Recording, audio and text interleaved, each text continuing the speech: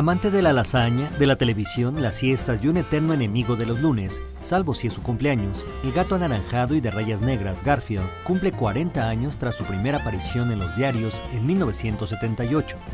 Su creador, Jim Davis, nació el 28 de julio de 1945. Creándose en la granja de sus padres, pasaba la mayor parte del día encerrado en su casa dibujando a causa de su asma. La primera historieta de Davis fue Non Nat, pero una vez se cansó de dibujarla. Jim decidió crear un nuevo personaje, inspirado en los 25 gatos con los que creció, y al ver que no había historietas con un gato como protagonista, ideó a Garfield.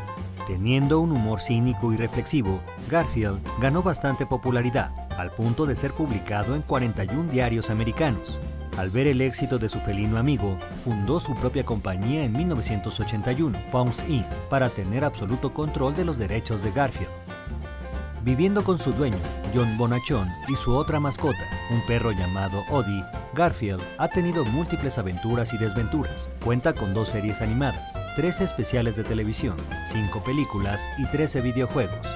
Las tiras cómicas de Garfield se imprimen en 2.400 periódicos en 80 países y en 40 idiomas. Llega a 200 millones de personas y su enorme difusión lo hizo entrar en el libro Guinness de los récords en 2002. Ha ganado cuatro premios Emmy y ha recibido el honor de ser la mejor tira cómica de humor por parte de la Sociedad Nacional de Caricaturistas. Con información de Alberto Rodríguez, Notimex.